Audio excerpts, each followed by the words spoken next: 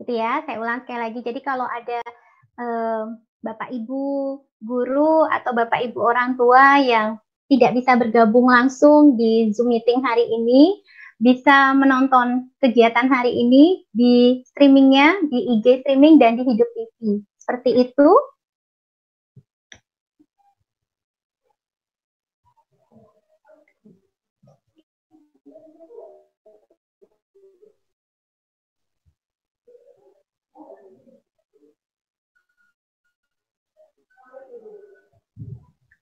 Okay. Sudah minum semuanya? Sudah minum? Sudah siap? Siapkan catatan, siapkan bolpen atau pensil untuk kalian mencatat. Nanti supaya info-info penting karena banyak banget info yang akan kalian dapatkan dari Bapak Menteri dan itu gratis. Karena pertemuan dengan Prof Bambang hari ini itu pengalaman yang luar biasa, luar biasa hebat bisa bertemu dengan Prof Bambang walaupun kita bertemunya secara virtual.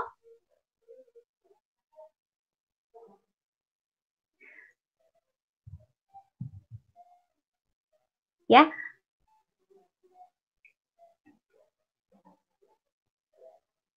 Boleh saya ditampilkan Prof Bambangnya kah?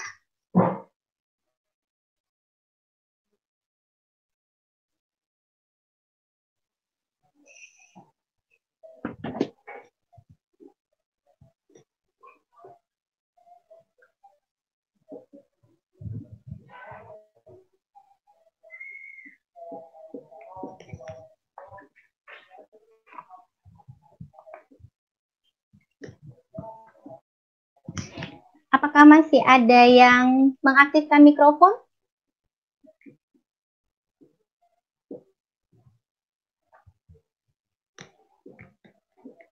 Ya. Untuk teman-teman yang baru bergabung, saya bacakan kembali ya sebelum kita ngobrol-ngobrol nanti dengarkan sharing dari Prof. Bambang. Saya akan bacakan kembali rambu-rambu saat kita belajar bersama dengan Bapak Menteri. Oke, yang sedang chat, mohon chatnya di stop dulu. Yuk, masih saya tunggu. Oke, yang pertama, sekali lagi saya mengulang, mohon sikap duduknya yang sopan, anak-anak. Bagi seluruh peserta, yang mengikuti Zoom meeting pada siang hari ini, mohon sikap duduknya yang sopan, nyaman boleh, tapi tetap menjaga kesopanan, gitu ya. Jangan sambil tiduran, apalagi yang pakai handphone, mentang-mentang pakai handphone lalu sambil tiduran, sambil santai-santai seperti itu. Lalu yang kedua, selama kegiatan berlangsung, mohon tidak sambil makan, karena kan kita sedang tidak nonton film ya, tapi kita lagi mau belajar bersama dengan Bapak Menteri. Jadi tadi sudah saya sampaikan kalau memang kalian perlu makan, minum, tadi ada waktunya, silahkan kalian makan dan minum secukupnya. Nanti bisa dilanjut lagi pas jam makan siang, seperti itu. Lalu yang ketiga, fasilitas chat yang ada digunakan untuk bertanya kepada Bapak Menteri. Sebentar lagi karena acaranya sudah mau dimulai, maka mohon maaf untuk teman-teman yang ingin menyapa teman lain bisa ditahan dulu karena nanti kalau tidak chatnya akan panjang sekali. Kasihan teman-teman yang mau bertanya kepada Bapak Menteri akhirnya tidak bisa seperti itu. Lalu yang keempat, background kalian backgroundnya rapi tadi seperti yang saya sampaikan jangan sampai ada hmm, tempat tidur masih berantakan, selimut masih ke mana-mana, seperti itu. Lalu, jika nanti teman-teman ada yang bertanya kepada Bapak Menteri, mohon disampaikan dengan sopan, menyebutkan nama, unit sekolah, dan dari provinsi mana. Karena selain kita belajar dengan Bapak Menteri, pada hari ini kita juga mau berkenalan dengan teman-teman yang lain dari unit yang lain walaupun secara virtual. Dan kalau sudah selesai bertanya, ucapkanlah terima kasih. Lalu, tampilkan nama dan unit sekolah kamu di layar. Tadi sudah ada beberapa yang diganti, terima kasih. Jadi yang belum mengganti, tolong diganti. Posisi kamera kamu, posisi kamera kamu dalam posisi on, sehingga kita semua yang sudah bergabung di Zoom meeting pada hari ini bisa melihat wajah kalian semua. Kita bisa saling kenal. Dan terima kasih juga mikrofon sekarang sudah off semua. Karena kalau misalnya ada 400 orang, mikrofonnya aktif, wow, luar biasa. Jadi nanti kita tidak bisa fokus mendengarkan apa yang disampaikan oleh Bapak Menteri.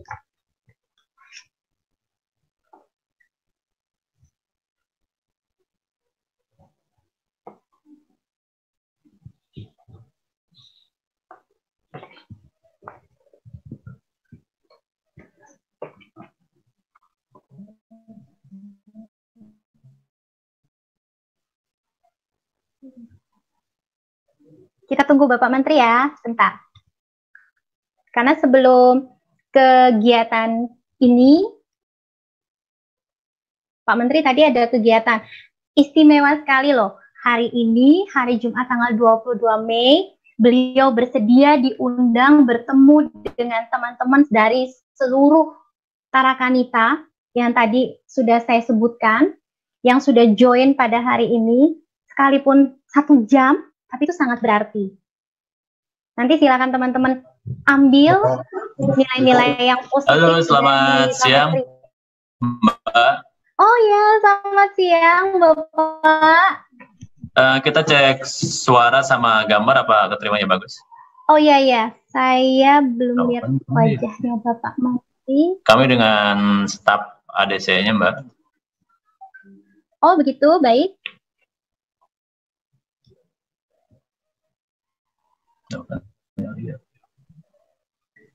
Di Pak Menteri bisa di spotlight ya Mbak? Namanya apa ya Pak? Menristek. Menristek Brin. Ah, ini. Oke aman Pak Agus. Oke oke. Cukup jelas Pak suaranya, uh, suara cukup, saya? Cukup jelas. Bapak? Sudah okay. bisa dimulai belum Mbak? Oke kita bisa mulai. Oke, kita panggil Pak Menterinya sebentar, Mbak ya. Iya, terima kasih Bapak.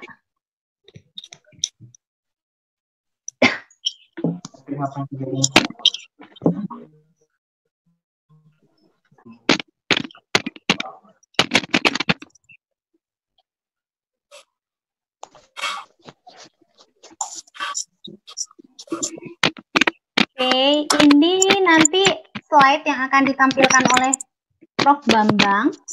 Tapi ini slide-nya masuknya apa ya teman-teman? Nah, makanya jangan ke mana-mana. Nah, teman-teman, nah ini mulai nih. Please banget, jangan ada yang coret-coret slide. Kita saling hargai ya teman-teman ya. Yang sudah bersedia menjadi narasumber kami hari ini. Bapak sekarang menjabat sebagai Menteri Riset Teknologi dan Kepala Badan Riset Inovasi Nasional. Betul ya Pak ya? Boleh dong teman-teman kita tepuk tangan walaupun di mute tapi oh begini. Begini Pak, ini katanya untuk ngurangin polusi Pak, yeah. tangan. Oke. Sekali lagi kami juga mengucapkan selamat datang, selamat pagi kepada para para partisipan yang sudah bergabung di Zoom meeting pada hari ini. Ada dari SD Sin Karolus Bengkulu, SD Santo Yosef Laha, SD Tarakanita Gading Serpong, SD Tarakanita Citra Raya, SD Tarakanita 1 sampai 5 Jakarta, SD Tarakanita Bumijo, SD Tarakanita Ngembesan, SD Tarakanita Magelang, SD Tarakanita Solo Baru, SD Santo Yosef Surabaya, SD Kartini Surabaya, SD Santo Karolus Surabaya. Banyak ya Pak ya. Nah, hari ini Pak yang bergabung kurang lebih ada sekitar 500-an Pak. Jadi memang kami oh. sudah membuka undangan dan responnya sangat bagus sekali. Mereka antusias ingin bertemu dengan Prof ingin berdialog, mendengarkan paparan yang Prof sampaikan, sehingga kami pun juga uh, tidak hanya streaming di Zoom saja, tapi juga ada di IG streaming yayasan, lalu kami juga ada di Hidup TV, begitu Prof. Ya. Prof Bambang, izinkan saya, nama saya Yoleta. Saya akan memimpin acara hari ini. Saya tidak sendiri, Prof. Nanti akan didampingi oleh Ibu Paula Ruliati Pujilesari MPD dan Bapak Yosef Todarung MPD. Mohon izinnya ya, Prof. Ya. Nah, sebelum kita mulai kegiatan hari ini, mari teman-teman kita hening sejenak, kita berdoa. Izinkan saya, Prof, memimpin doa pada pagi hari ini secara Katolik. Mari kita berdoa bersama dalam nama Bapa, Putra, dan Roh Kudus. Amin. Ya Bapa yang bertahta di dalam kerajaan surga, puji dan syukur kami haturkan kepadamu untuk segala kebaikan yang boleh kami terima sampai dengan saat ini. Teristimewa pada pagi hari ini, kami kau izinkan untuk bertemu dengan Prof. Bambang sebagai narasumber kami, tempat kami belajar pada hari ini. Utuslah roh kudusmu ya Bapa, agar acara yang sudah kami rencanakan ini dapat berjalan dari awal sampai dengan akhir nanti. Semua doa ini kami serahkan ke dalam tanganmu, dengan pengantaraan Kristus Tuhan kami. Amin. Bunda Maria Bintang Samudra, doakanlah kami. Santo Carolus Borromeus, doakanlah kami. Bunda Elizabeth, doakanlah kami. Amin. Dalam nama Bapa, Putra, dan Roh Kudus. Amin. Terima kasih. Kita boleh tes salam Tarakanita? Kita tes salam Tarakanita ya. Bapak, Uh, mohon izin kita mau mengucapkan salam Tarakanita. Mungkin bisa di-unmute semuanya. Minta tolong hostnya untuk me mengaktifkan semua speak uh, mikrofonnya. Sudah? Terima kasih ya Pak ya. Oke. Ayo, ayo, ayo. Salam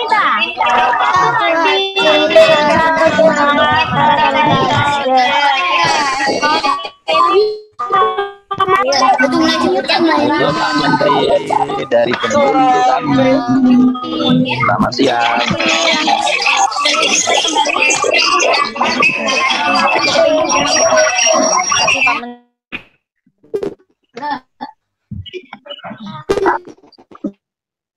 Oke.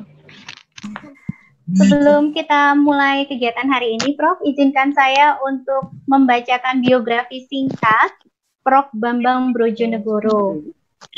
Saat ini, Bapak Bambang Brojonegoro menjabat sebagai Menteri Riset Teknologi dan Kepala Badan Riset Inovasi Nasional. Sebelumnya, Prof. Bambang juga pernah menjabat sebagai Menteri Perencanaan Pembangunan Nasional Indonesia dan Menteri Keuangan beberapa penghargaan yang pernah Prof. Bambang Brojonegoro dapatkan antara lain Bintang Bayangkara Utama from the Indonesian National Police in 2019, Brilliant Academic Figure in Bureaucracy from Indonesian Property and Bank in 2019, Islamic Inspiration for Nation from Muslim Choice Award in 2018. Itu hanya sedikit ya Prof, sedikit prestasi yang Prof dapatkan. Karena kalau misalnya saya bacakan semua, satu jam ini hanya untuk membacakan semua pencapaian-pencapaian Prof yang luar biasa. Nah, yang tidak kalah membanggakan, saya khususnya sebagai bagian dari Tarakanita, ini yang teman-teman perlu tahu nih. Kenapa Prof ini kok sampai mau diundang gitu, bersedia meluangkan waktunya satu jam bertemu dengan kita. Karena Prof. Bambang ini merupakan lulusan SD Tarakanita 1 Jakarta tahun 1979. Betul Prof. Bambang? Betul, ya. Betul. Boleh dong kita kasih tepuk tangan. Yeay. Boleh diangkat tangannya. Ya. Terima kasih. Nah, sebelum Prof. Bambang menyampaikan banyak hal kepada kita, hingga kita bisa belajar dari Prof. Bambang. Mohon izin Prof. Bambang untuk Bapak Ignatius Purwanto selaku Kepala SD Tarakanita 1 yang akan menyampaikan uh, pengantar gitu. Pak Ignas, kami persilahkan. Sudah aktif? Selamat siang, saya ucapkan kepada yang terhormat Bapak Menteri, Bapak Bambang Brojo Negoro, Suster, Bapak Ibu, dan anak-anakku yang terkasih. Puji dan syukur kita panjatkan kepada Tuhan yang Maha Kuasa karena kita sampai saat ini masih diberikan anugerah kesehatan dan juga kesempatan untuk bisa saling bertemu sekalipun lewat media online. Saya mewakili keluarga besar SD Tarakanita 1 mengucapkan terima kasih yang sebesar-besarnya kepada Bapak Menteri, Bapak Profesor Bambang yang telah berkenan untuk memenuhi undangan kami sebagai narasumber dalam kegiatan atau dalam acara Pak Menteri mengajar secara online kepada anak-anak kami SD Tarakanita 1 Jakarta dan juga anak-anak SD Tarakanita seluruh Indonesia. Bersyukur dan bangga pasti kami mempunyai salah satu putra alumni terbaik yang ada di negeri yang sama-sama kita cintai ini. Dan yang lebih unik lagi, di tengah situasi seperti saat ini dan juga di tengah kesibukan Bapak Menteri, Bapak berkenan untuk bergabung bersama kami dan mengajar anak-anak SD lagi. Ini sungguh luar biasa. Semoga kesempatan ini dapat ditangkap, dapat bermanfaat dengan baik, dan tentu saja untuk masa depan Indonesia yang lebih baik. Akhirnya kami serahkan seluruh rangkaian acara kepada Bapak Menteri, Bapak Profesor Bambang Brojonegoro untuk acara ini sampai dengan selesai nanti. Kepada seluruh peserta, selamat mengikuti sampai selesai. Semoga acara ini sungguh bermanfaat dan tidak akan pernah kita lupakan. Tuhan memberkati kita semuanya. Terima kasih. Iya. Terima kasih Pak Ignas. Pak Bambang, ya. uh, Prof Bambang tadi lihat ya, backgroundnya Pak Ignas itu SD ya. Tanita satu gitu. Sama nggak Pak waktu sama masih ingat? Masih ingat. Bentuknya masih sama ya Pak ya? Iya, warna catnya aja beda. Warna cat. Iya, iya, iya. Ya. Oke, seperti yang tadi Pak Ignas sudah sampaikan, uh, mulai dari sekarang sampai dengan nanti kami serahkan sepenuhnya kepada Prof. Bambang. Kami mau diberikan pengetahuan apa dari Prof. Silakan. Ya. Selamat siang, uh, adik-adik uh, dari uh, sekolah Tarakanita dan sekolah-sekolah lain yang mengikuti acara ini, ya, yang tentunya merupakan masa depan bangsa yang saya banggakan para kepala sekolah, guru yang juga mengikuti acara ini. Pertama, ini adalah kehormatan dan kebanggaan buat saya bisa uh, memberikan sedikit uh, sharing ilmu dengan adik-adik ya di level sekolah dasar. Kebetulan pada saat ini kita sedang menghadapi kondisi yang tidak biasa, sehingga tema dari uh, pelajaran yang ingin saya sampaikan kepada adik-adik semua adalah bagaimana kita bisa mengatasi tantangan dari pandemik COVID-19 dan juga belajar jarak jauh. Tentunya kalau saya mulai dengan uh, apa ya nasihat ya kepada adik-adik semua.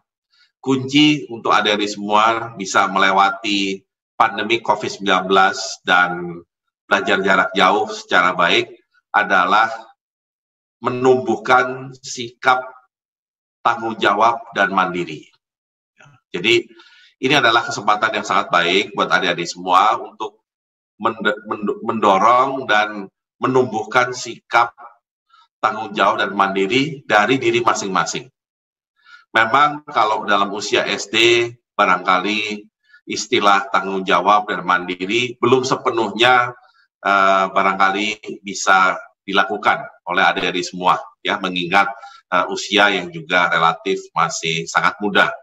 Tetapi dalam kondisi saat ini sepertinya mengharuskan kalian semua untuk mencoba bergerak lebih cepat, mencoba untuk lebih dewasa dengan bersikap mandiri dan bertanggung jawab tadi. Nah, saya ingin mulai dulu dengan bagaimana kalian bisa be, bisa berhadapan dengan COVID-19. Perlu diingat bahwa COVID-19 ini penyakit yang sangat cepat menularnya. Ini adalah penyakit menular yang tingkat penularannya tidak tanggung-tanggung. Salah satu yang penularannya tercepat di dunia sampai saat ini. Dan proses penularannya adalah melalui droplet. Droplet itu mungkin uh, adik-adik sudah pernah dengar, itu intinya berasal dari ludah, ya, dari ludah atau cairan yang ada di tubuh kita.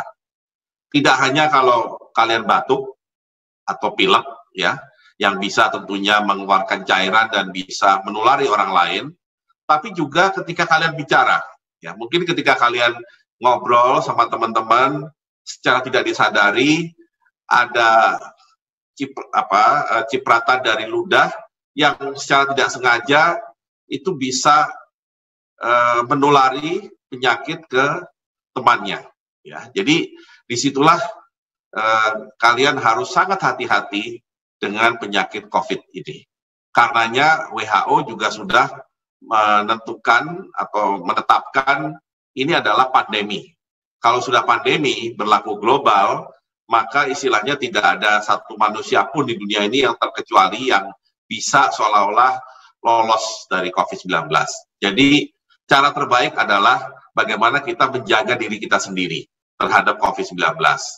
Dan kebetulan sebagai uh, murid di sekolah dasar, kepandirian kalian ya dan tanggung jawab kalian itu sangat dibutuhkan untuk bisa menjaga diri kalian sendiri dari COVID-19.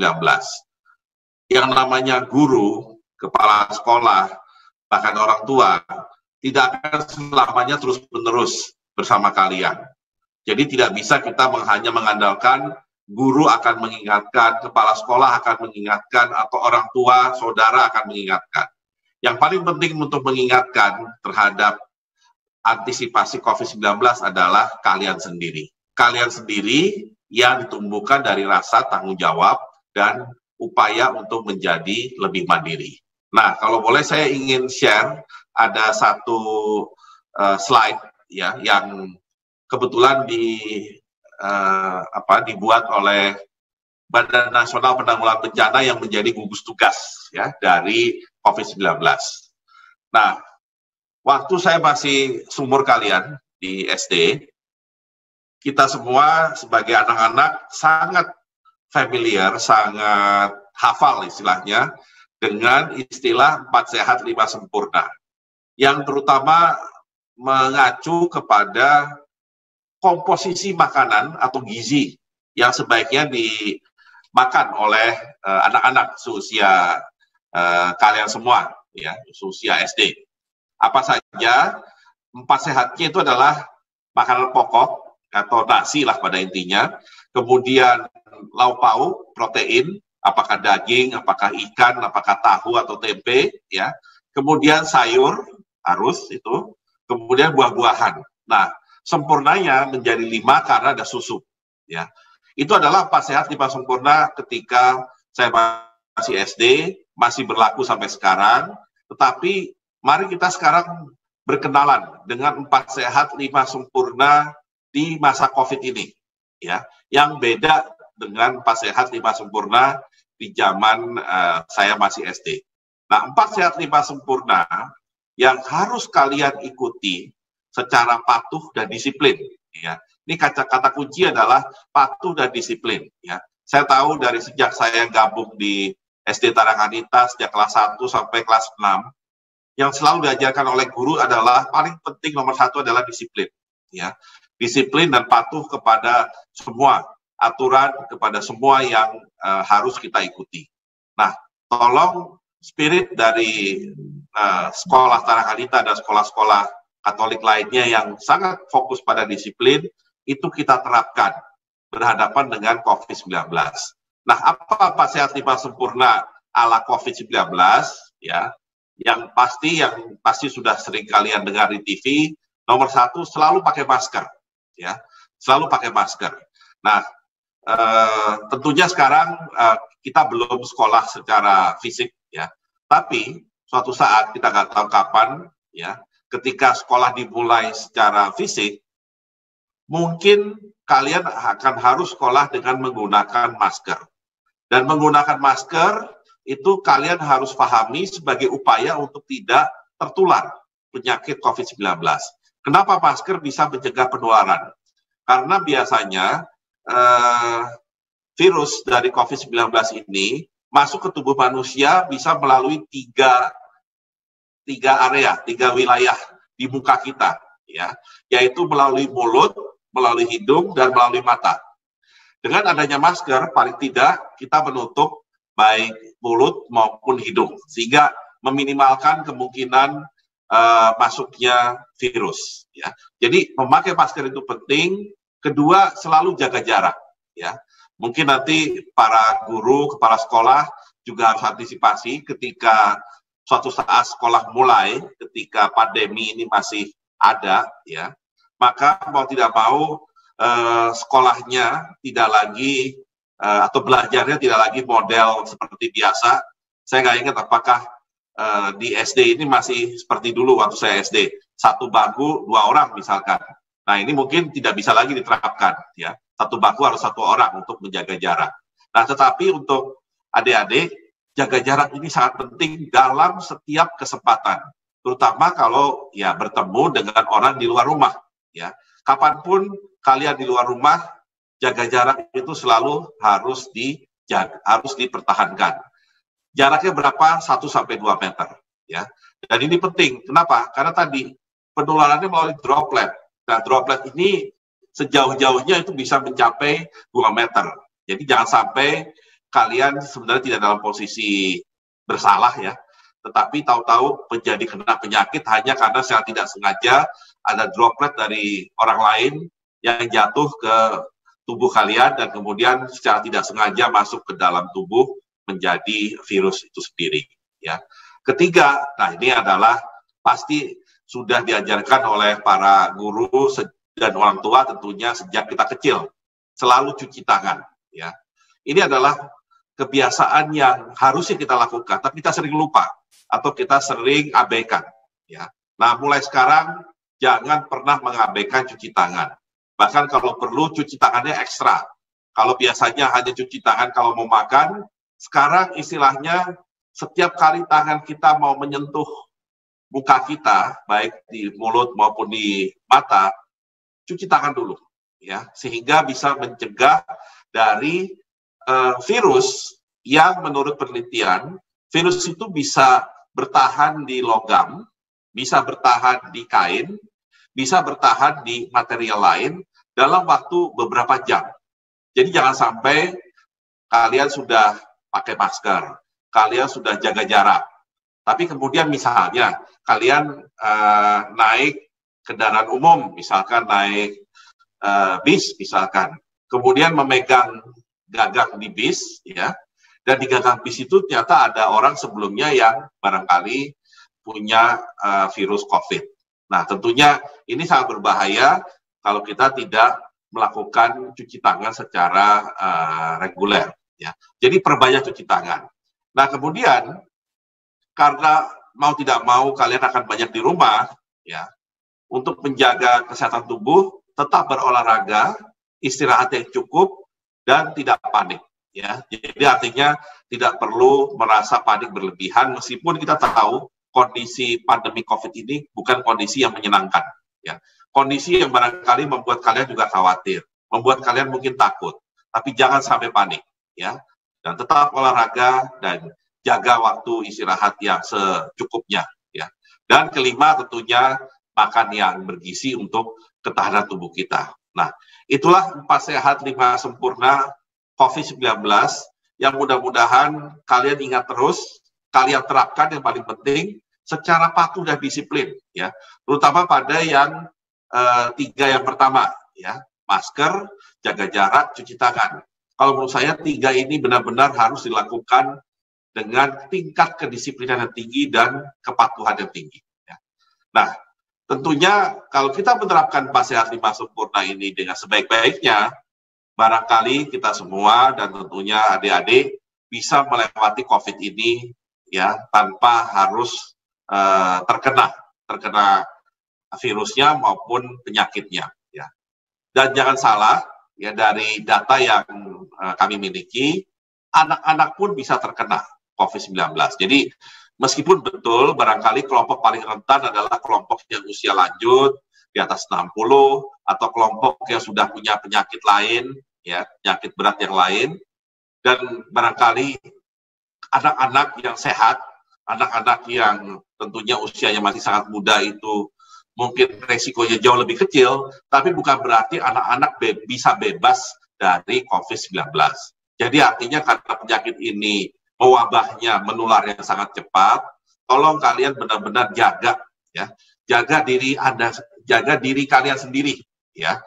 Meskipun pasti orang tua akan sangat peduli terhadap kalian. Guru, kepala sekolah pasti sangat peduli. Tapi yang paling peduli dari semuanya adalah kalian sendiri. Kalian sendirilah yang bisa menjaga agar COVID tidak sampai menyerang kalian. Nah, kenapa itu penting? Karena kalau COVID-nya sampai menyerang kalian, meskipun mungkin kalian menjadi OTG namanya, orang tanpa gejala, tapi karena kalian membawa uh, virus tersebut, dan kemudian kalian balik ke rumah, bertemu orang tua yang usianya mungkin sudah uh, agak lanjut, atau bertemu dengan yang lain, kalian bisa menularkan virus ini tanpa kalian merasakan sedikit pun gejala dari COVID-19. Nah, inilah bahayanya dari COVID-19 yang benar-benar kalian harus ingat dari waktu ke waktu. Kalau sudah mendengar begitu, saran saya tidak ada lain kecuali patuh dan disiplin. Dan patuh dan disiplin dalam pengalaman hidup saya, ya, apa yang membuat barangkali saya bisa sampai ke posisi ini sejak lulus dari SD tahun 79 itu bukan hanya masalah nilai dalam kelas, masalah tingkat intelijensia, kepintaran, intelektual dan segala macam. Yang lebih penting adalah kita punya tanggung jawab dan kemandirian dalam hidup kita yang membentuk gaya hidup yang patuh dan disiplin tadi. Nah, di sinilah saya juga ingin menerapkan gaya hidup patuh dan disiplin yang mendorong tanggung jawab dan kemandirian itu di dalam belajar jarak jauh. Ya. Kita belum tahu kapan nantinya belajar seperti dulu, belajar secara fisik datang ke sekolah, datang ke kelas itu akan berlangsung lagi. Ya. Kita belum tahu kapan. Ya. Dan kalaupun akan berlangsung, yang seperti saya katakan tadi, itu akan bersifat terbatas. Ya. Jadi memang nanti yang akan lebih sibuk adalah guru dan kepala sekolah. Karena misalkan kalau sekarang satu kelas SD misalkan isinya 40 orang misalnya, maka ke depannya kelasnya hanya bisa 20 orang. ya.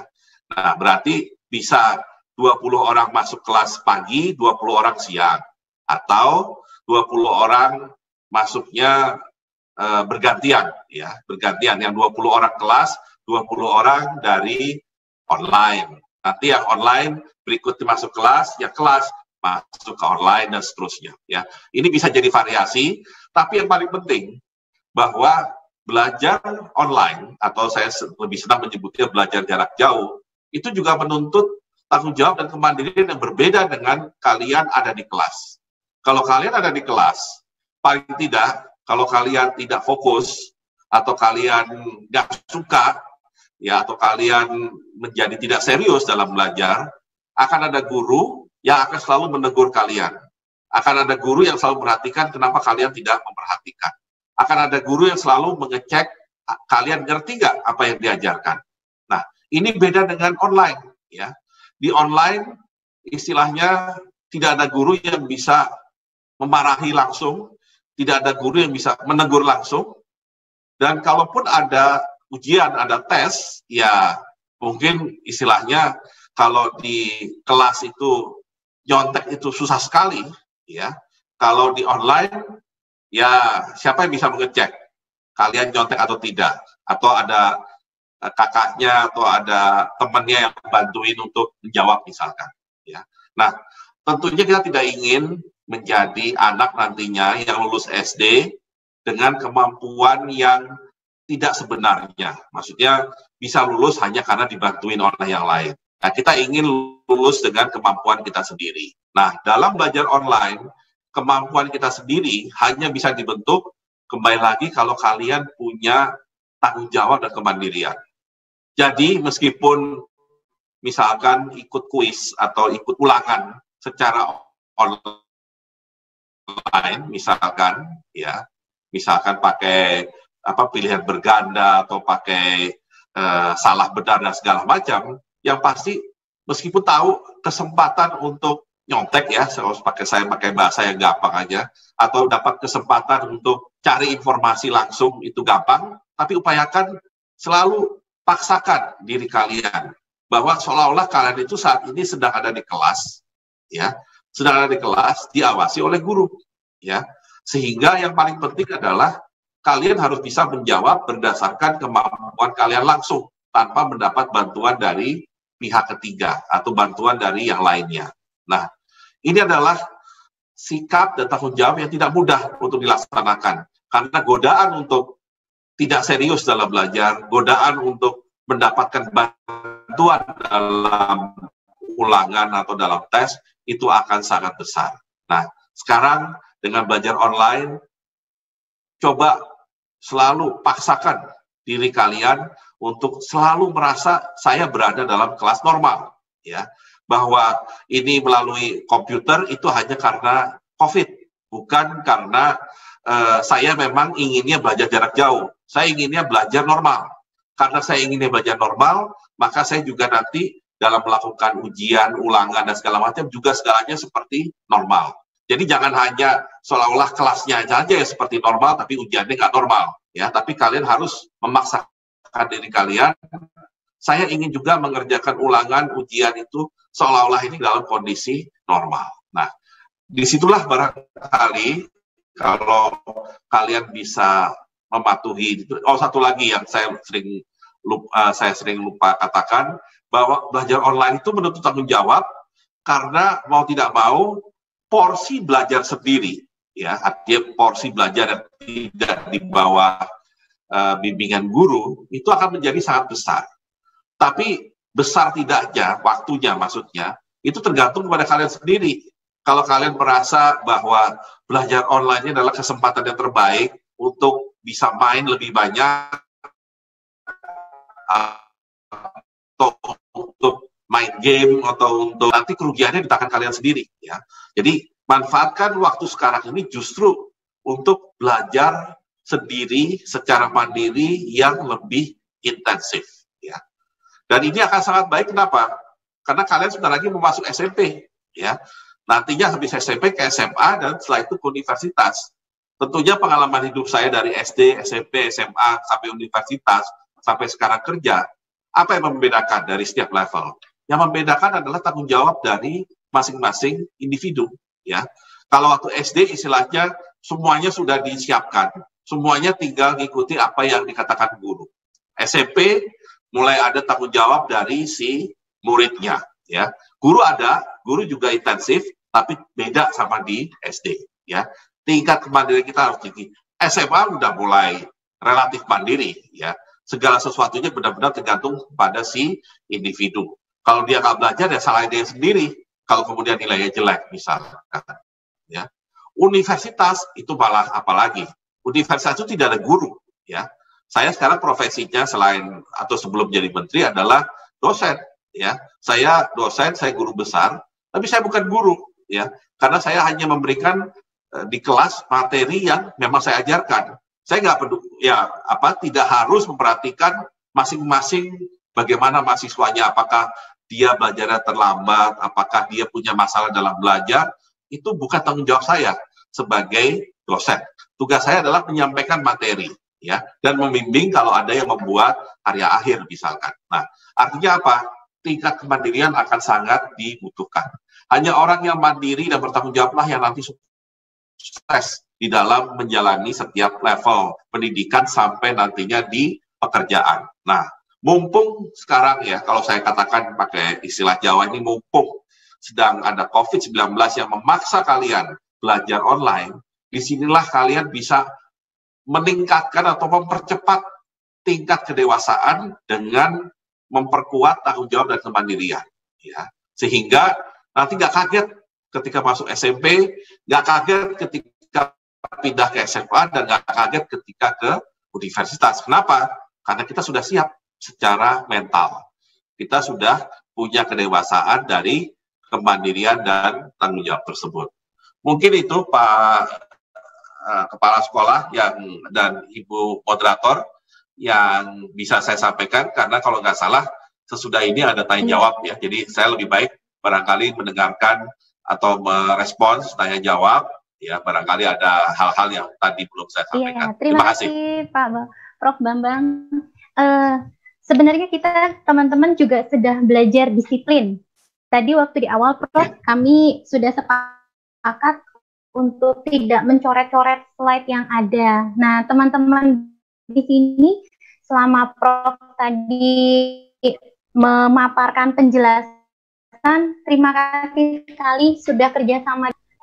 Berarti ya. kita sudah belajar sedikit hal yang sederhana tentang disiplin. Tidak mudah, tapi bisa diperjuangkan. Begitu ya, Prof? Nah, sekarang kita masuk ke sesi tanya-jawab.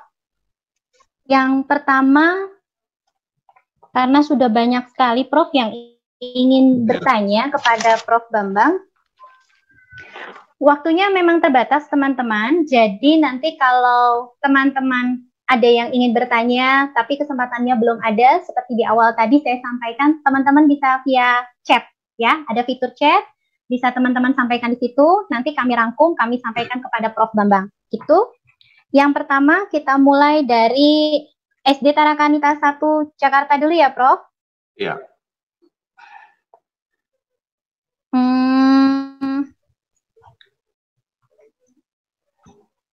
Sementara yang lain tolong di mute ya. Jadi nanti yang berbicara uh, dari wilayah yang sudah saya sebut, nanti kalau wilayah yang sudah saya sebut uh, boleh dibuka mikrofonnya, sementara yang lain tetap posisi off begitu. Dari SD Tarakanita 1. Bentar, saya lihat boleh dibuka dulu mikrofonnya. Ada Audrey. Audrey SD Tarakanita 1. Oke. Okay. Ada Audrey? Boleh cek mikrofon? Sudah, Bu. Oke. Okay. Silakan Audrey boleh bertanya kepada Prof. Bambang. Teman-teman yang lain boleh di mute kembali yang dari SD Tarakanita 1. Silakan Audrey. Selamat siang Pak. Saya Audrey dari SD Tarakanita 1 Jakarta. Saya ingin mengajukan pertanyaan, bagaimana cara belajar online untuk masa depan yang lebih baik, sedangkan kita masih terbiasa dengan belajar secara konvensional. Terima kasih, Pak. Ya, terima kasih Audrey. Boleh langsung dijawab, Prof. Bambang? Oke. Okay. Ya, memang untuk dalam tanda petik memaksakan diri belajar online, padahal biasanya konvensional, kita harus memaksakan diri, ya, karena memang ini kondisi yang harus kita hadapi. Nah, artinya ketika kita memaksakan diri tadi, kuncinya yang saya sampaikan tadi, ya, Audrey harus punya, harus menumbuhkan eh, kemandirian dan tanggung jawab yang lebih besar lagi, ya. Karena dengan belajar konvensional seperti yang dilakukan sekarang, memang kemandirian dan tanggung jawab tidak terlalu penting, ya karena toh ada guru, ada pembimbing, ada kepala sekolah yang akan selalu mengawasi kita setiap saat ya ketika di sekolah. Tetapi ketika belajar online dan Audrey ada di rumah, praktis guru dan pembimbing dan segala macam itu tidak ada lagi. Tidak ada lagi secara langsung, secara fisik.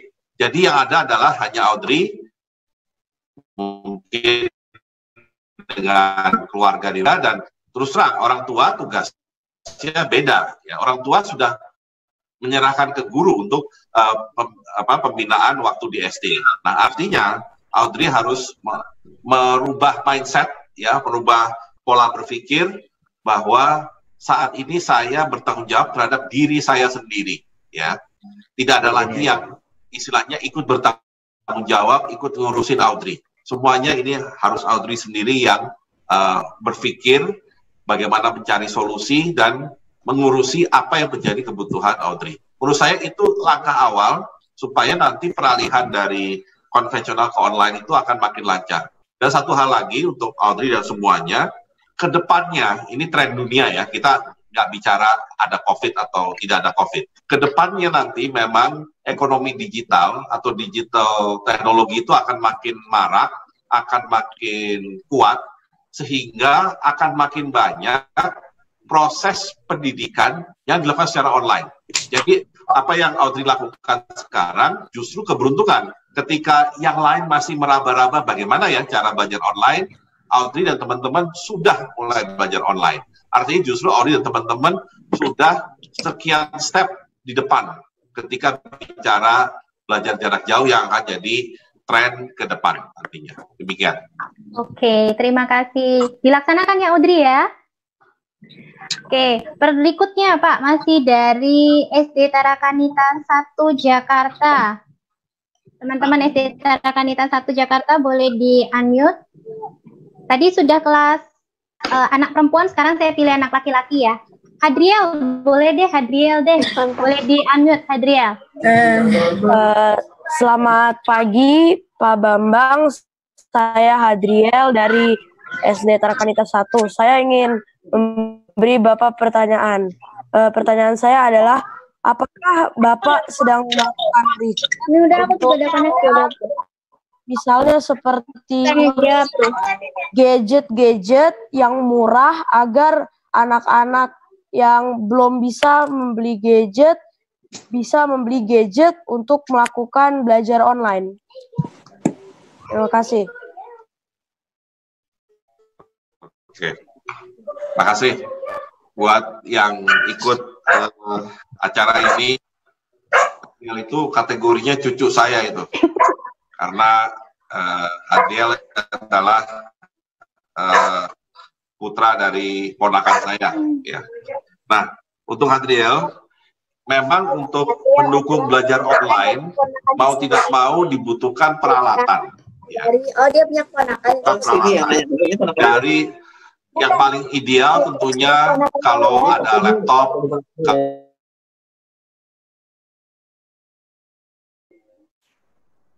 Ya, kalau ada personal komputer, kalau ada laptop itu yang paling ideal. Tetapi bisa saja itu dilakukan melalui misalkan uh, eh, HP ya. Nah, tadi apakah kita nanti Indonesia terutama ini akan bisa menghasilkan lebih banyak uh, gadget atau peralatan yang lebih murah?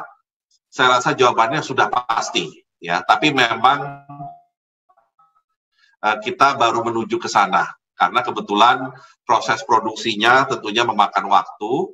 Tapi saya yakin ke depan apabila makin banyak yang belajar online atau tidak hanya belajar tapi juga bekerja online atau kegiatan lain secara online, mau tidak mau kebutuhan akan gadget tersebut dari personal computer sampai iPad sampai ke laptop dan HP ini akan jadi semakin tinggi ya dan juga koneksinya akan semakin baik.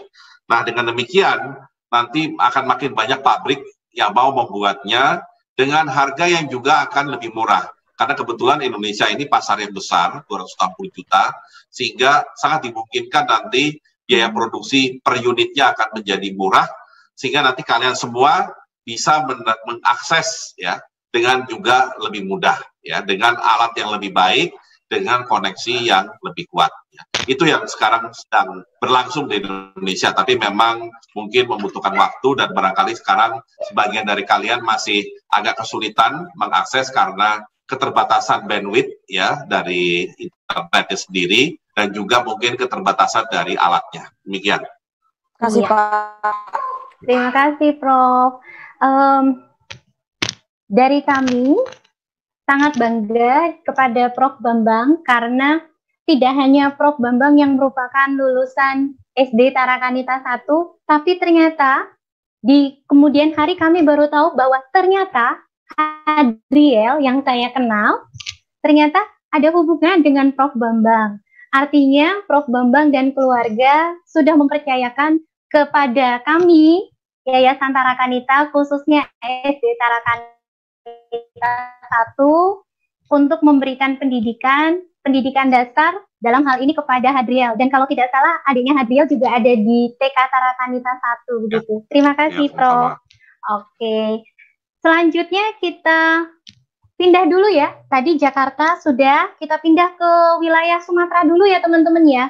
Kita mau pindah ke Lahat. Nah, saya cari dulu teman-teman Lahat boleh diaktifkan mikrofonnya. Nanti kalau sudah saya pilih, saya sudah sebut namanya, minta tolong langsung di eh, nonaktifkan ya teman-teman yang lain di luar yang saya sebut. Ada namanya Jati. Ya, Oh, ada sudah terhubung. Terima kasih. Silakan boleh diajukan pertanyaannya Jati. selamat pagi Pak Menteri. Saya Jati dari SD. Sehat. Saat ini kami sudah mengikuti pembelajaran online. Guru-guru kami menyiapkan materi dan mengajar, divideokan dan di-share ke kami para siswa. Kami merasa terbantu dengan materi-materi yang diberikan. Karena ketika kami kurang jelas, kami bisa memutar kembali video pembelajaran tersebut. Tetapi bertatap muka dengan dan bertemu langsung dengan Bapak Ibu guru.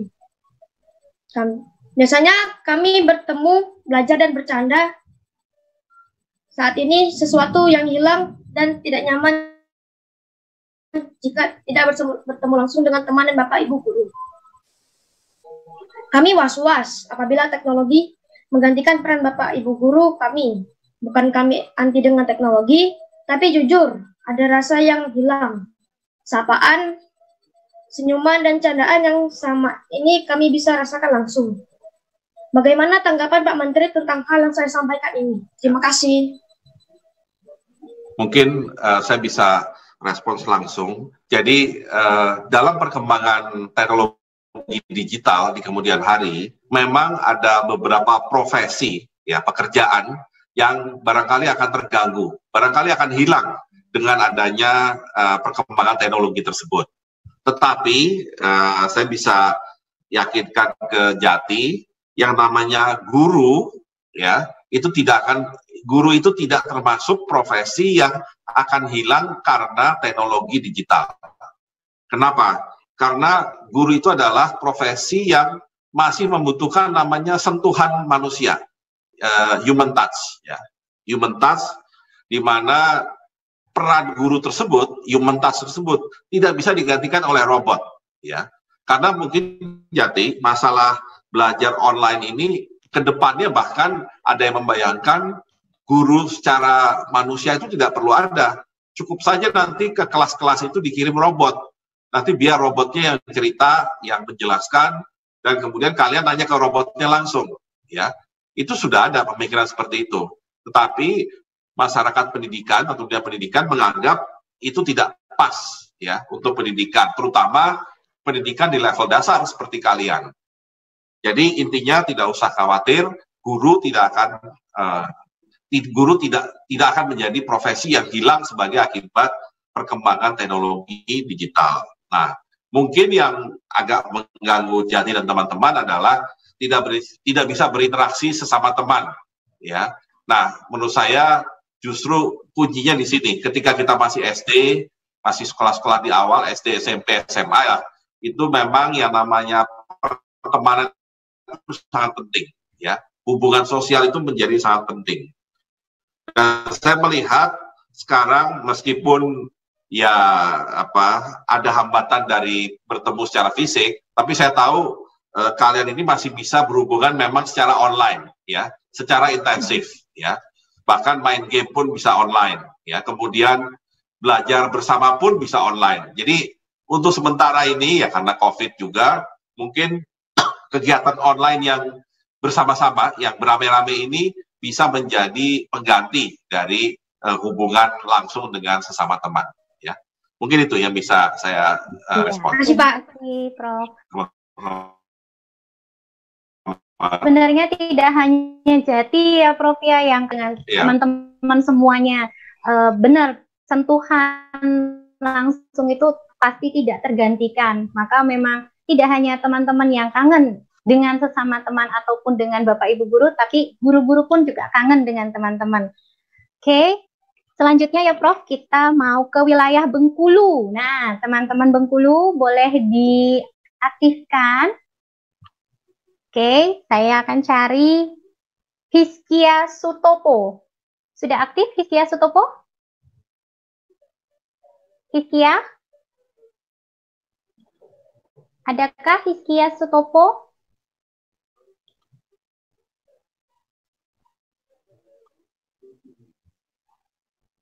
Sudah masuk belum? Iya, Bu. Oke, terima kasih. Boleh langsung, Hiskia. Eh, selamat siang, eh, Bapak Menteri. Selamat saya siang. Kada Stopo dari SD Kanita Pembelajaran Jarak Jauh. Ya, eh, semenjak saya mengikuti pembelajaran eh, jarak jauh ini eh, ada kendalanya, eh, tapi ada juga yang bisa bermanfaat bagi saya. Kendalanya itu em, misalnya seperti kita kan harus selalu, selalu eh, menengok eh, handphone atau laptop kita. Bagaimana kalau guru itu eh, ngasih materinya dari eh, poin gitu kita tengok di sini. Di situ situ juga bagaimana harus menengok video di YouTube juga menguras banyak kuota. Nah, jadi em, saya mempunyai eh, teman-teman yang mungkin nggak sekolah di situ di SD Tarakanita, eh, mereka kesulitan mengikuti pembelajaran jarak jauh. Mengapa? Mereka kesulitan. Em, ada yang ngecat, ada yang eh, memang tidak boleh, dan terkadang eh, banyak teman-teman saya yang em, me- mensalahgunakan PJJ ini. Eh, misalnya disuruh eh, orang tuanya belajar, tapi eh, dipergunakan untuk main.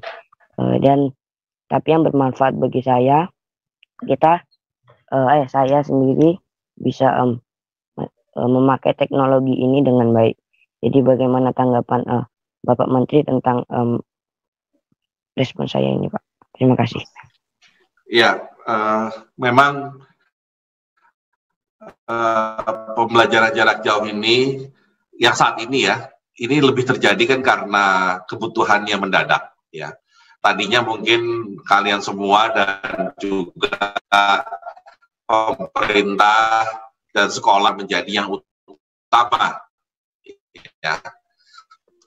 Sebenarnya kalau diperhatikan ya di level universitas itu sebagian kuliah sudah mulai didesain untuk jarak jauh ya untuk nantinya menjadi bagian dari uh, kredit ya untuk kelulusan misalkan. Nah, tetapi tidak ada yang membayangkan bahwa pembelajaran jarak jauh ini datang demikian cepat dan bukan hanya di level universitas, bahkan di level SD seperti kalian. Dan tentunya masalah tadi ya apa biaya yang menjadi besar, terutama biaya koneksi, biaya pemakaian internet ya dengan kuotanya ini memang akan menjadi uh, problem. Ya, tapi barangkali uh, kalau untuk pendidikan saya yakin baik, baik orang tua ya terutama orang tua ya ini melihat pendidikan ini sebagai suatu kebutuhan yang dasar. Jadi artinya uh, meskipun mungkin di awalnya akan kesulitan, tapi saya yakin orang tua kalian akan selalu memberikan yang optimal, yang terbaik. Ya, artinya menyediakan biaya untuk koneksi yang sebaik mungkin. Yang barangkali malah bisa mengganggu adalah untuk di daerah-daerah itu memang saya lihat masih banyak yang koneksinya kurang baik, ya, sehingga kualitasnya kurang baik dan barangkali malah menjadi lebih mahal karena dibutuhkan eh, di apa kegiatan ekstra untuk bisa mendapatkan koneksi dengan kualitas yang sama. Nah ini yang pemerintah akan selalu mencoba memperbaiki terus infrastruktur telekomunikasi sehingga bisa mencapai segala penjuru Indonesia termasuk di Bengkulu misalkan. Nah, saya tertarik ya soal penyalahgunaan PJJ tadi. Di situlah poin yang tadi saya angkat waktu uh, menyampaikan. Kuncinya adalah kalau kalian ingin sukses dengan belajar online, itu bukan karena orang tuanya galak, bukan karena gurunya disiplin, tapi kuncinya adalah karena kaliannya yang disiplin dan kalian patuh sehingga kemandirian dan tanggung jawab itu ada pada diri kalian. Ya. Jadi saya yakin uh, untuk Iskia misalkan meskipun temptation atau godaan untuk apa untuk main game online itu sangat mudah ya. Tapi kalau sudah niatnya belajar, kalau sudah niatnya memang ingin dapat nilai terbaik, saya yakin bisa mengatasi, terutama kalau sudah punya tanggung jawab yang kuat. Ya, demikian. Iya, terima kasih Prof. Terima kasih. Uh, semoga jawaban uh, Prof tadi bisa melegakan Hiskia ya, Hiskia. Prof, ini jamnya sudah menunjukkan pukul 12. Ya. Itu apakah kita masih bisa lanjut pertanyaan? Boleh. Boleh oh, masih bisa lanjut. Oke, okay, ya. boleh. Selanjutnya kita ke Surabaya ya. Nah, teman-teman Surabaya boleh mengaktifkan mikrofonnya. Teman-teman Surabaya kalau mau mengaktifkan mikrofonnya silahkan. Saya cari dulu. Oke, saya sudah temukan satu atas nama Yemima dari SD Santo Yosef Surabaya. Mohon maaf, teman-teman yang lain yang dari Surabaya mohon mikrofonnya dimatikan, hanya Yemima saja yang aktif. Silakan Yemima. Sebentar. Benar. Benar. Oke. Selamat siang, Bapak Menteri. Saya Yemima, murid kelas 5A dari SD Santo Yosef Surabaya.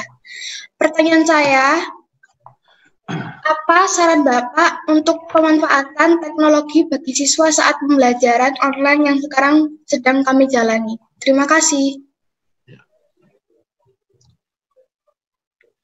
Ya, tentunya uh, ada plus minus kita menggunakan teknologi untuk belajar online ini. Ya, tadi minusnya sudah dibicarakan bahwa sangat kurang interaksi langsung dengan guru maupun sesama uh, murid. Tetapi kita juga harus mulai lebih mendorong sisi plusnya, sisi kelebihannya. Kelebihannya adalah dengan teknologi ini sebenarnya memberikan peluang bagi kalian untuk bisa mendapatkan ilmu secara lebih luas lagi ya sebenarnya kehadiran yang namanya internet terutama buat saya ya sebagai orang yang pernah hidup tanpa internet. Kemudian tahun 90-an mulai hidup dengan internet. Itu terasa suatu perubahan yang luar biasa ya. Perubahan yang luar biasa dalam pengertian kalau dulu misalkan terutama di level SD hafalan itu sangat penting ya. Karena ya kita tidak bisa mendapatkan apa-apa kecuali kita bisa menghafalnya dan itu nanti akan dijawab akan dijawab kalau ada ulangan atau kalau ada tes. Nah sekarang uh, upaya untuk menghafal itu sebenarnya tidak terlalu perlu lagi. Kenapa? Segala sesuatunya sudah disediakan di uh, teknologi digital, ya. Kalau kalian ingin tahu tentang sesuatu, tinggal di Google misalkan. Kalau zaman saya dulu waktu SD apalagi, kalau ingin tahu sesuatu ya saya harus cari bukunya, saya harus cari informasinya, kemudian informasi tersebut saya hafal, dan itu yang kemudian baru bisa disampaikan kalau ada yang menanyakan atau kalau ditanyakan dalam ulangan. Ya. Jadi artinya ini adalah kesempatan yang terbaik buat kalian untuk lebih mengasah apa ya sisi logika dari suatu ilmu ya. Jadi ketika mempelajari ilmu, kalau sekarang betul mungkin masih merasa hafalan cukup, tapi kebetulan karena sekarang sudah ada teknologi digital yang memudahkan kalian untuk mendapatkan informasi apa pun yang dibutuhkan, maka sekarang coba perdalam ya. Kalau kita dulu belajar sejarah disuruh hafalin, perang di Ponorogo tahun berapa misalkan ya kemudian uh, pergerakan kemerdekaan Indonesia Pancasila ditentukan tanggal berapa tahun berapa nah Kalau menurut saya sekarang, kalian ketika belajar sejarah, jangan kemudian fokus kepada tanggal-tanggal tadi, tapi kalian belajar kepada misalkan kenapa Pangeran Diponegoro memberontak melawan Belanda misalkan, ya. Jadi dengan informasi yang lebih luas, dengan keleluasaan dari belajar online, teknologi itu membuat kalian akan menjadi saya yakin generasi yang lebih pintar dari generasi saya ya? Karena kalian tidak belajar menghafal lagi tapi kalian sudah belajar logikanya ya? Kenapa Pancasila itu harus ada ya? Nah contoh-contoh simpel seperti itu yang barangkali waktu saya SD saya nggak pernah mikir Pak Gerard Diponegoro kenapa berang, apa lawan Belanda oh, karena dia orang Indonesia orang Jawa gitu dia nggak suka sama orang Belanda kan bukan itu jawabannya pasti ada sesuatu yang membuat Pangeran Diponegoro memberontak melawan Belanda. Demikian juga kenapa harus ada Pancasila? Oh supaya negaranya punya ideologi, oh, bukan begitu. Ya pasti ada alasan kenapa Pancasila dibutuhkan oleh masyarakat Indonesia. Nah, jadi saya melihatnya kalian ini bisa mengasah otak kalian ya dengan logika yang lebih kuat akan menjadi generasi yang jauh lebih pandai, jauh lebih kritis dibanding uh, generasi saya atau yang sedikit lebih muda dari saya. Iya. Demikian. Iya, betul Pak. Uh, saya setuju sekali dengan Prof. Saya juga merasakan manfaat teknologi. Saya belum pernah bertemu dengan Prof langsung, tapi saya bisa tahu Prof itu hobinya main bulu tangkis ya Prof ya? Iya, iya. Kenapa? Karena saya memanfaatkan teknologi, saya cari di Google, um, pencapaian-pencapaian Prof, apa sih hobinya Prof? Nah, ketika kita ketemu virtual gini, seolah kita sudah kenal lama, ada carinya dari internet gitu. Ya. Terima kasih, Prof. Masih boleh lanjut, Prof? Ya, silakan, silakan. Oke, kita pindah ke Solo baru ya. Ada teman-teman yang dari SD Solo Baru, Tarakanita Solo Baru, silahkan diaktifkan. Aleta. Aleta dari SD Solo Baru. Aleta, sudah aktif mikrofonnya?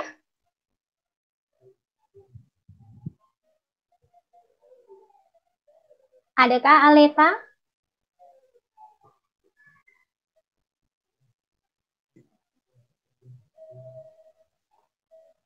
Ada? Masih join?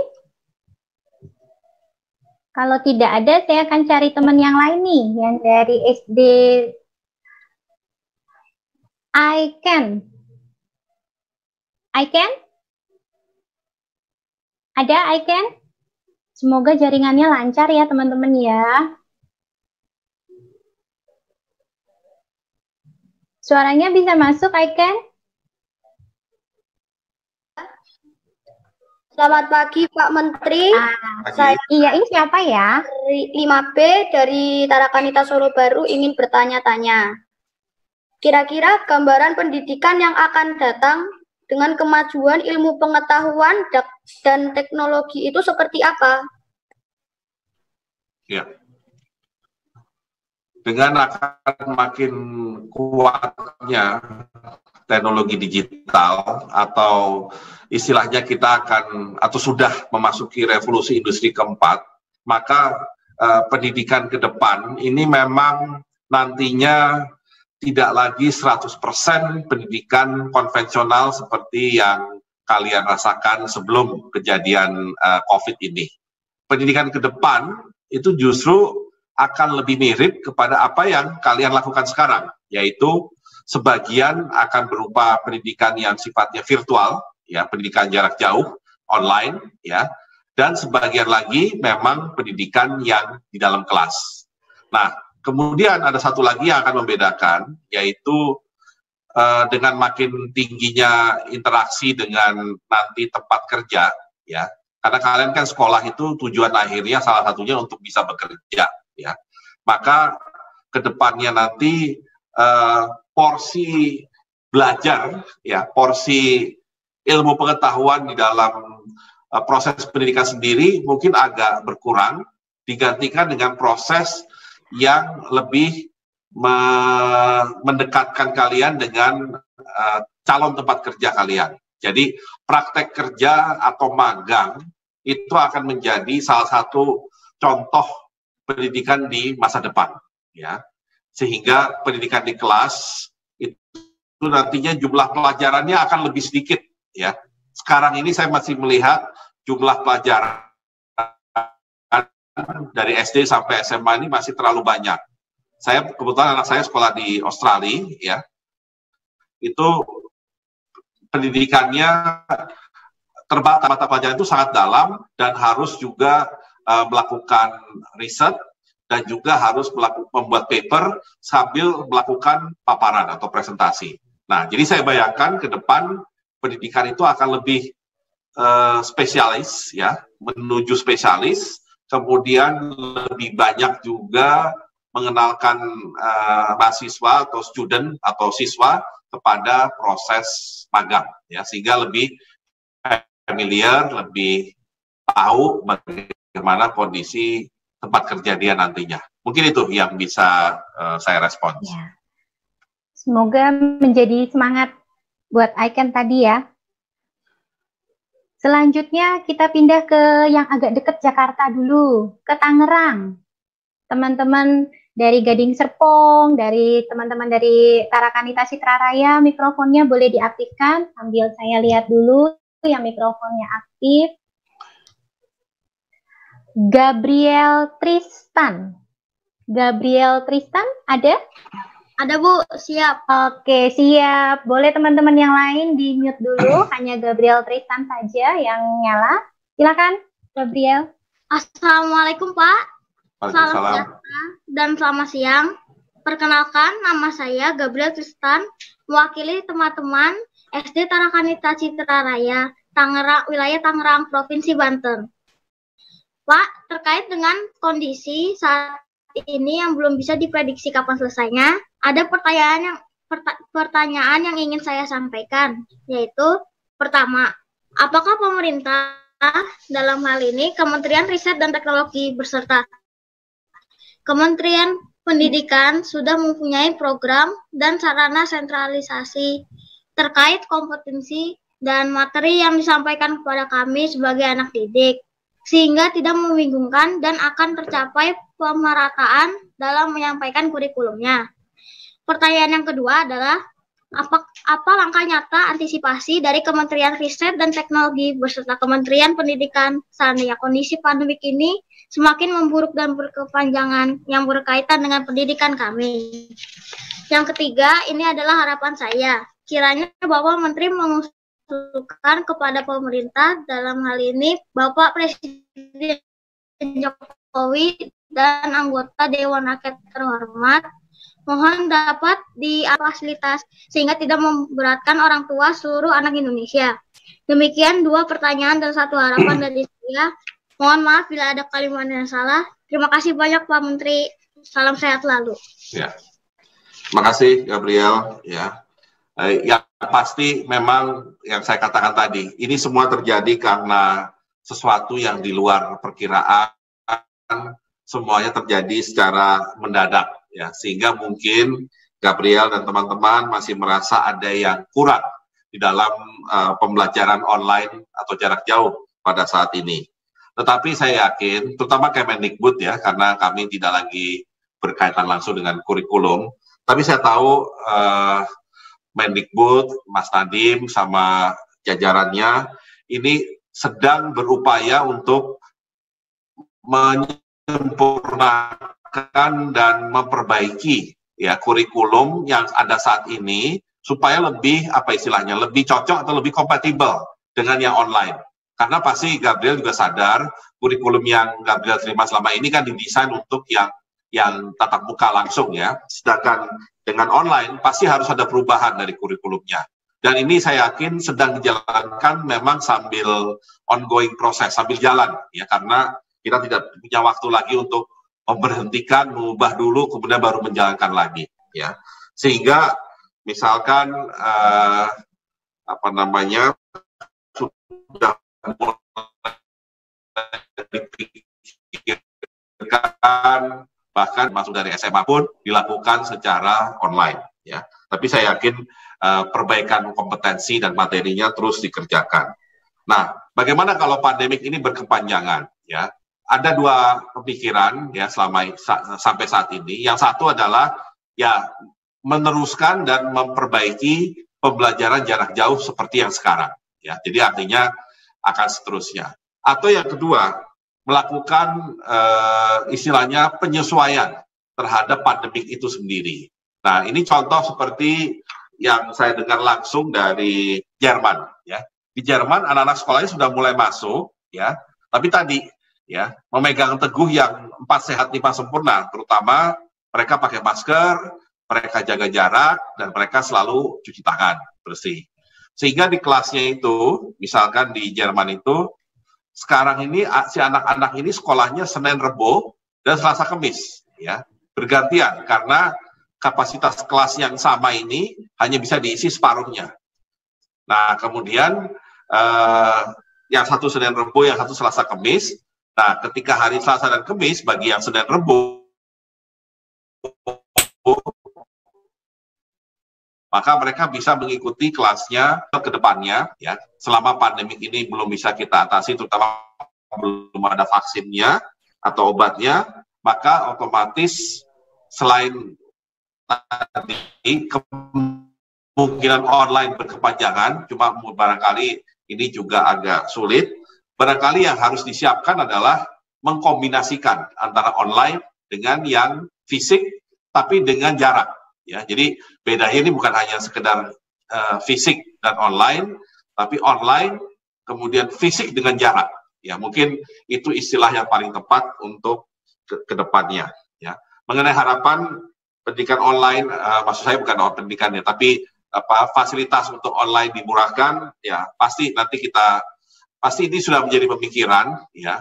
Terutama kalau nanti kita sudah menemukan kira-kira rumus atau formula bagaimana melakukan pendidikan ini ketika pandemik masih berlangsung. Ya. Tapi saya yakin itu sudah menjadi pemikiran uh, banyak pihak. Oke. Terima kasih Prof. Semoga terjawab ya Gabriel. Oke, ini kami berikan satu pertanyaan lagi Prof dari ya. chat. Jadi kami sudah menutup pertanyaan yang secara langsung. Tadi kami sudah kumpulkan berbagai macam pertanyaan yang muncul di fitur chat. Um, ada satu pertanyaan yang mohon nanti Prof jawab sekaligus untuk peneguhan bagi kami. Ya. Apa kunci sukses Prof Bambang selain belajar giat? Oke, ya. Ini agak susah kalau harus cerita tentang diri sendiri ya. Tapi pertama, eh, bela belajar giat itu artinya belajar serius. Itu jelas sangat penting.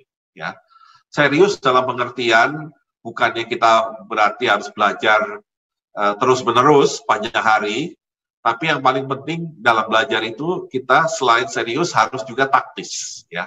Taktis tadi, ya. Saya makin sadar meskipun kebetulan dari sejak SD terutama saya tuh mungkin diberkahi ini apa kemampuan memori yang sangat kuat, ya. Sehingga dulu waktu SD pelajaran seperti ilmu bumi, sejarah, itu buat saya pengetahuan umum itu enteng sekali ya karena gampang sekali mengingat dan gampang sekali menjawab pertanyaan. Tapi saya sadar bahwa sekedar mengingat atau memori itu tidak bisa berlangsung selamanya ya. Terutama ketika saya mencoba menerapkan itu di pelajaran seperti biologi ya, kemudian ilmu manusia dan ilmu tumbuh-tumbuhan dan segala macam, ternyata kemampuan memori saya jauh sekali dibanding saya belajar yang ilmu bumi dan sejarah. Jadi artinya dalam kita belajar, selain kita tetap belajar rajin, ya, tetap patuh kepada jadwal, patuh kepada tugas, ya, yang pasti adik-adik semua tugas harus dikerjakan, ya. Prak, ada istilah dalam bahasa Inggris, practice makes perfect, ya itu benar itu benar. Itu benar sekali maksud saya. Bahwa kalau kita latihan makin sering maka kita akan punya hasil yang lebih baik. Dan kita latihan makin sering itu akan membuat tadi kemampuan analitis dan logika kita semakin kuat. Dan kemampuan analitis dan logika itulah yang membuat kita sukses nanti di dalam hidup ya bukan hanya hafalan hafalan itu membantu. Tapi analitik dan logika itu menjadi sangat penting ya. Dan jangan lupa rajin untuk selalu latihan. Terutama kalau yang matematika. Matematika menurut saya nggak akan bisa kita kuasai tanpa latihan ya. Kalau kita kecuali kita jenius luar biasa ya. Jadi artinya jangan pernah menyepelekan istilahnya PR ya. PR yang diberikan oleh guru karena hanya itu cara kita untuk memaksa diri kita untuk uh, belajar dan kita makin menguasai ilmunya. Nah, satu hal lagi, resep ya untuk saya sampai dalam kondisi seperti sekarang adalah jangan pernah berhenti belajar atau istilahnya jangan pernah berhenti untuk ingin tahu. Nah, kenapa saya katakan begitu? Karena ya kalian bisa lihat sendiri ya, saya pendidikan ya dari uh, eh, SMA-nya itu di IPA, di ilmu pasti ya. SMA-nya ilmu pasti. Tapi S1-nya ekonomi ya. S2, S3-nya lebih kepada perencanaan kota dan wilayah ya. Kemudian dalam pekerjaan saya pernah jadi dosen dan guru besar di ekonomi, pernah jadi menteri keuangan, pernah jadi menteri perencanaan, pernah juga sekarang menteri ristek ya. Nah, kuncinya apa? Supaya saya bisa melewati perubahan-perubahan bidang yang kadang-kadang ekstrim seperti itu ya. Karena sekarang ristek misalkan saya hampir nggak pernah belajar saya hampir nggak pernah ngomong ekonomi lagi sejak saya di ristek ya. Apalagi dalam covid ini saya terpaksa harus mempelajari ya mengenai ilmu kesehatan sedikit mengenai kedokteran sedikit mengenai biologi supaya saya bisa memahami apa yang sedang kita hadapi ya. Nah kuncinya cuma satu jangan pernah alergi untuk belajar sesuatu yang baru Ya, jadi kalau kalian sudah menguasai sesuatu, bukan berarti itu segala-galanya. Coba terus belajar sesuatu yang baru. Saya yakin itu yang akan membuat kalian survive dan yang penting hidup ini menjadi lebih menarik.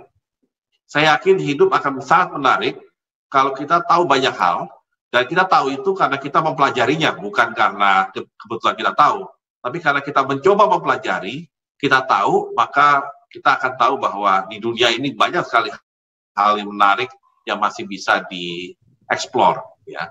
Itu mungkin yang kalau saya bisa simpulkan ya. Di samping tadi taktis itu tetap penting ya. Taktis tetap penting. Dan satu lagi dari segi pergaulan ya karena ini kan tidak hanya bicara sekolah ya. Kalian mau nggak mau harus jadi orang yang gaul ya. Tapi jangan juga terlalu banyak lebih banyak gaulnya daripada seriusnya Ya, jadi artinya harus balance antara serius dengan gaul. Terlalu serius tanpa gaul itu juga tidak menolong nanti kalau bekerja. Terlalu banyak gaul, tak kurang serius juga tidak menolong. Jadi balance, ya seimbang antara bergaul dengan uh, bekerja secara serius. Mungkin itu Bu yang bisa iya. saya share. Terima kasih Prof. Berarti ini tadi Prof sudah bilang uh, Prof memang terlahir memiliki kemampuan ya, kemampuan yang mudah untuk menyerap pelajaran dari Bapak Ibu guru dulu gitu ya, Prof. Ini ya, ya. sesuai, Prof. Saya punya satu testimoni, Prof. Masih ingat gak ya? Dari Ibu Alfrida Susminah. Namanya oh. kalau dulu dipanggil namanya Ibu Sus. Oh, Ibu Ternyata Sus, beliau ya. masih ingat sama Prof. Nah, ya, ya. teman-teman, ya. ini juga untuk pembelajaran teman-teman bahwa Bapak Ibu guru tidak pernah melupakan teman-teman. Jadi teman-teman walaupun Bapak Ibu guru muridnya banyak, tetap diingat personal. Nah, seperti Prof, Prof Bambang dapat testimoni dari Ibu Sus. Prof Bambang itu yang dikenal beliau adalah beliau pendiam, pinter, rajin, suka senyum, dan mau bergaul dengan siapa saja. Jadi pas banget seperti yang tadi Prof bilang, antara kita boleh serius belajar, tapi jangan lupa pergaulan supaya tidak uh, kurang pergaulan begitu ya. Tapi juga jangan bergaul terus sampai lupa belajar. Terima kasih Prof, penguatannya cocok sama Ibu Sus. Ingat ya Prof ya, sama Ibu Ingat, Sus ya Prof. Guru kelas 1. Ya. Oh, guru kelas 1. Terima ya. kasih Prof. Ya. Oke, salam dari Ibu Sus untuk Prof. Ya. Ya. Oke, teman-teman. Ini tadinya kan jadwal pertama kita sampai jam 12, tapi kita sudah mundur nih, mohon maaf untuk teman-teman lain yang masih ingin bertanya tapi karena keterbatasan waktu dan Prof juga masih punya kesibukan lain setelah ini, mohon maaf. Tadi semoga pertanyaan-pertanyaan yang disampaikan oleh teman-teman sudah mewakili mewakili dari pertanyaan-pertanyaan yang ingin teman-teman lain sampaikan. Begitu. Berikutnya kita lanjut ke ucapan terima kasih Ucapan terima kasih ini akan disampaikan oleh Kepala Kantor Pusat. Dalam hal ini akan diwakili oleh Bapak Yosef Todarung MPD, Pak Eto, yang juga merupakan Kepala Divisi Pendidikan. Kepada Pak Eto, dipersilahkan. Terima kasih Bu Yoleta. Selamat siang Prof. Bambang dan anak-anak terkasih. Uh, perkenankan uh, sebelum saya mengucapkan terima kasih mewakili Yayasan Tarakanita, ada beberapa highlight atau rangkuman yang boleh saya bacakan kembali. Hanya orang yang bertanggung jawab dan mandiri yang akan meraih kesuksesan hidup. Prof. Bambang Brojonegoro. Adik-adik terkasih, uh, Pak Eto akan membacakan lima poin rangkuman berikut. Yang pertama, ayo lebih cepat dewasa untuk bersikap tanggung jawab dan mandiri mulai dari diri sendiri dalam menghadapi COVID-19. Mari terapkan empat sehat lima sempurna dengan tingkat kedisiplinan dan kepatuhan yang tinggi. Itu poin yang kedua.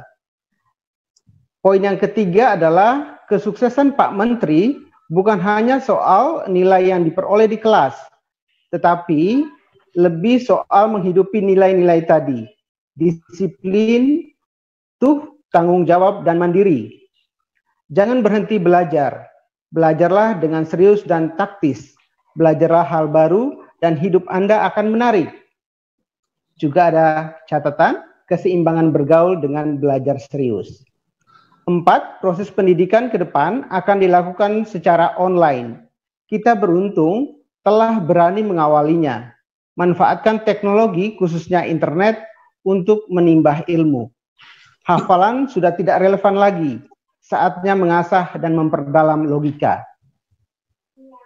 Pendidikan konvensional akan kita tinggalkan dan kita akan masuk dalam dua ruang pembelajaran, ruang virtual dan ruang fisik. Praktek kerja, magang akan lebih relevan dan jumlah mapel akan semakin sedikit ke depan.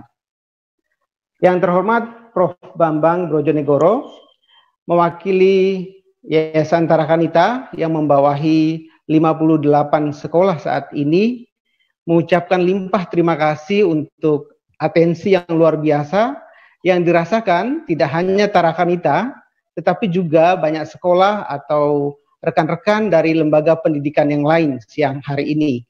Ini merupakan momen pembelajaran yang luar biasa kita belajar dari Pak Bambang tidak hanya soal pengetahuan, tetapi juga bagaimana memaknainya dalam kehidupan yang konkret. Semoga apa yang telah disampaikan Pak Bambang pada siang hari ini sungguh terinternalisasi pada anak didik kita, pada rekan-rekan pejuang pendidikan Tarakanita dan sekolah-sekolah lain untuk uh, terus terus menerus uh, membangun pendidikan Indonesia yang lebih baik ke depan. Sekali lagi terima kasih Profisiat untuk kita semua. Demikian Bu Yoleta. Ya, terima kasih Pak Eto.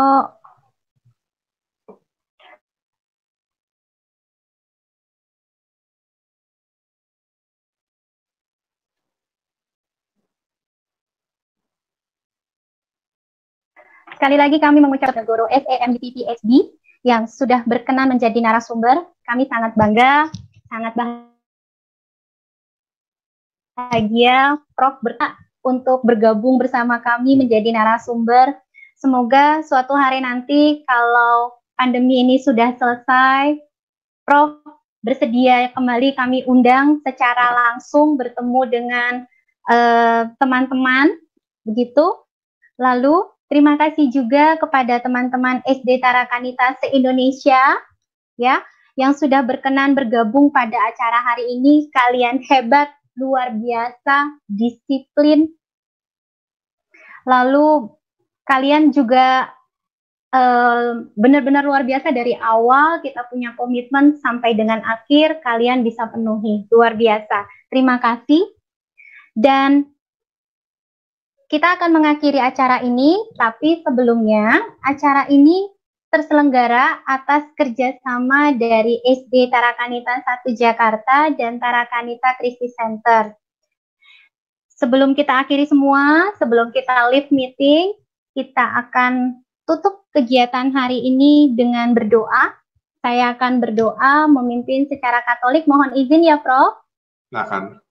Oke, kita sikap doa yang baik ya, teman-teman. Dalam nama Bapa, Putra, dan Roh Kudus. Amin. Bapa yang bertahta di dalam kerajaan surga, puji dan syukur kami haturkan kepadamu untuk segala limpah kebaikan yang boleh kami rasakan sampai dengan siang hari ini. Terima kasih untuk Roh Kudus yang boleh kau utus memimpin acara ini dari awal hingga selesai, sehingga acara yang sudah kami rencanakan ini dapat berjalan dengan lancar. Berkatilah juga narasumber kami, Profesor Bambang Brojonegoro, berikanlah dia hikmat, kesehatan, kebahagiaan, dan dapat melakukan segala pekerjaannya dengan baik. Utuslah roh kudusmu di dalam hidupnya, di dalam keluarganya, sehingga hari-hari mereka selalu diliputi oleh kebahagiaan. Semua doa ini kami serahkan ke dalam tanganmu dengan pengantaraan Kristus Tuhan kami. Amin. Bunda Maria Bintang Samudra, doakanlah kami. Santo Carolus Borromeus, doakanlah kami. Bunda Elizabeth, doakanlah kami. Amin. Dalam nama Bapa, Putra, dan Roh Kudus. Amin. Ya, Terima kasih Prof. Bambang, terima kasih anak-anak semuanya teman-teman. Mohon maaf kalau ada hal-hal yang kurang berkenan dari saya Yoleta selaku moderator kegiatan hari ini ataupun dari teman-teman penyelenggara dari Tarakanita Krisis Center dan SD Tarakanita 1. Selalu sehat dan bahagia untuk Prof. Bambang dan keluarga serta untuk teman-teman di mana pun berada. Dan sebagai tambahan informasi, sebenarnya sekolah Tarakanita di mana pun ya, dari uh, wilayah Jakarta, Tangerang, Jogja, Jawa Tengah, dan seterusnya, mempunyai alumni-alumni yang apa ya merupakan putra terbaik atau putri terbaik bangsa. Nah, teman-temannya Prof juga gitu. Mungkin Prof juga tahu. Saya akan bacakan ya. Yang pertama itu ada Bapak Wisnu Tama. Ya. Beliau merupakan alumni dari SMP Tarakanita 5. Lalu ada Dr. Terawan yang merupakan Menteri Kesehatan dari SD Tarakanita Bumijo. Semoga teman-teman dari SD Tarakanita Bumijo tahu ya. Lalu berikutnya ada Bapak Ignatius Jonan yang pernah menjabat sebagai Menteri Perhubungan periode lalu dan juga masih banyak lagi tidak hanya uh, dari profesi menteri tapi dari berbagai macam profesi public figure, selebriti, lalu pengusaha dan lain sebagainya. Kami juga mengucapkan terima kasih kepada Hidup TV yang sudah berkenan menayangkan acara pada hari ini sehingga acara ini dapat dilihat langsung oleh teman-teman yang ada di luar sana yang tidak bisa ikut bergabung langsung di Zoom pada hari ini. Terima kasih luar biasa untuk semuanya. Kita mau menutup uh, kegiatan kita hari ini dengan salam Tarakanita, kalian tidak usah teriak lagi karena saya tahu kalian udah capek, udah mau makan siang. Cukup gerakan tangannya saja ya. Semoga uh, kegiatan kita hari ini berkenan, memorable sama Prof Bambang. Selalu diingat. Siap? Tangannya siap dong. Ya. Salam Tarakanita. Satu hati, satu semangat Tarakanita. Yes. Semoga kita bertemu lagi di lain kesempatan. Tuhan memberkati. Bye. Ya.